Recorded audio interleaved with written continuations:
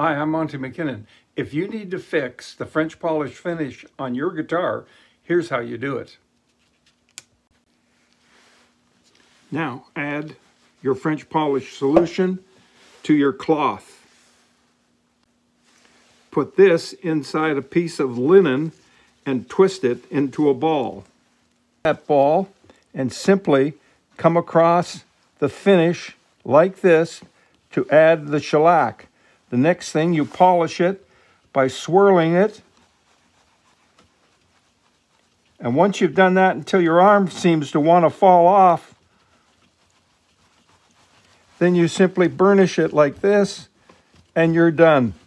So give it a go. You can do it.